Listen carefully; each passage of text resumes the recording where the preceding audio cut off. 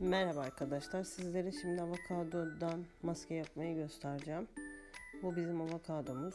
Ben bunu ikiye bölmüştüm zaten. Ee, arkadaşlar avokadonun olgunlaşmış olduğunu nasıl anlarız? Öncelikle e, dış yüzeyinde siyahlıklar oluşmuş olması gerekiyor. Ve bastırdığımızda içine çökmüş olması gerekiyor. Yani yumuşamış olduğunu anlarsınız zaten.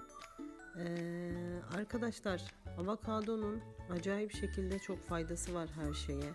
Yani yediğimizde sindirim sistemimize faydası var. Ee, yüzümüze sürdüğümüzde büyük güzel bir nemlendirici olabiliyor.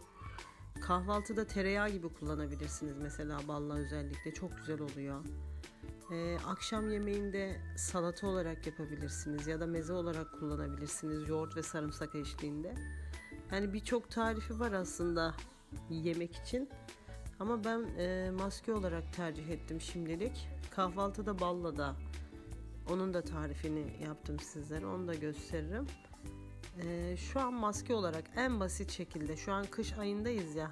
Yani yüksek dozda bir nemlendirici olarak kullanacaksınız benim gösterdiğim tarifte. Hiçbir şey yapmanıza gerek yok arkadaşlar. Olgunlaşmış bir avokadoyu alıyoruz. Kabuğunu soyuyoruz.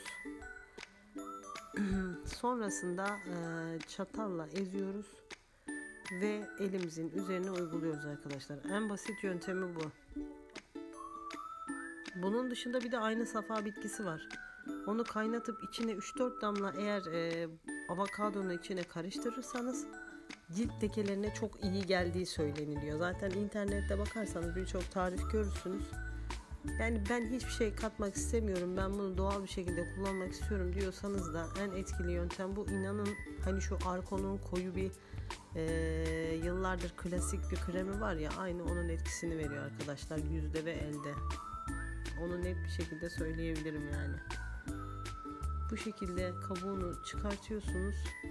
Zaten bu kabuklarda aşırı yeşil olduğu için yani bence bunu da çöpe atmayın. Direkt elinizin üstüne sürebilirsiniz yani bu şekilde. Hem hmm, faydalanmış olursunuz. Zaten avokado çok pahalı bir meyve arkadaşlar. Türkiye'de de üretiliyor ama genellikle yurt dışından getirildiği için çok pahalı. Böyle hiçbir kabuğun osunu busunu şusunu heba etmeden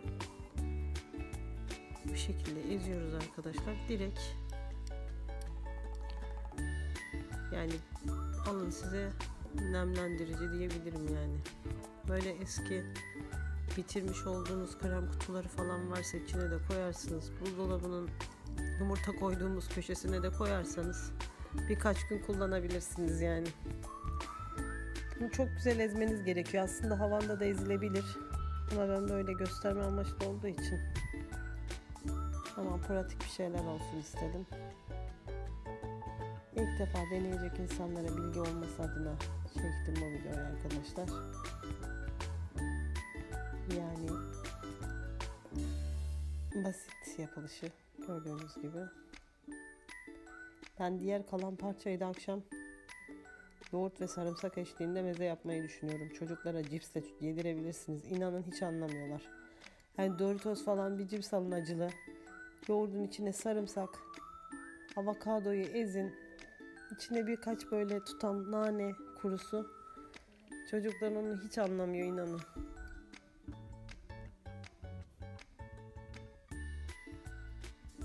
İstenilen kıvama geldi. İçinde bir de şey E vitamini çok fazla var.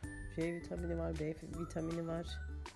Vitamin yönünden de bayağı zengin bir meyve. Zaten çok yoğun bir meyve. Bana e, yumurta sarısı ve tereyağını anımsatıyor. Bilmiyorum herkes farklı bir şey söylüyor ama. Gördüğünüz gibi böyle elinizin üstüne sürüyorsunuz. ince bir tabaka yapıyorsunuz. 15-20 dakika bekletiyorsunuz böyle. Zaten yüzünüz falan geriliyor, eliniz geriliyor. Anlarsınız kuruduğunu. Sonra da ılık bir suyla güzelce yıkayıp siliyorsunuz. Hayatınıza devam ediyorsunuz. Bu kadar basit. Allah'ın vermiş olduğu doğal meyvelerden yararlanıyoruz. Bunlar allah Teala'nın gizli hazineleri diyorum ben. gerçekten şun yani meyvenin bu kadar yoğun bir şekilde nemlendirmesi gidip bir sürü paralar verip nemlendiriciler alıyoruz kış aylarında. Hiç gerek yok. Alın bir tane avokado. Yarısını krem, yarısını meze. Yolunuza devam edin bence. Umarım bilgi yani paylaştığım bilgiyi beğenirsiniz. İşinize yarar. Zaman ayırdığınız için teşekkür ederim.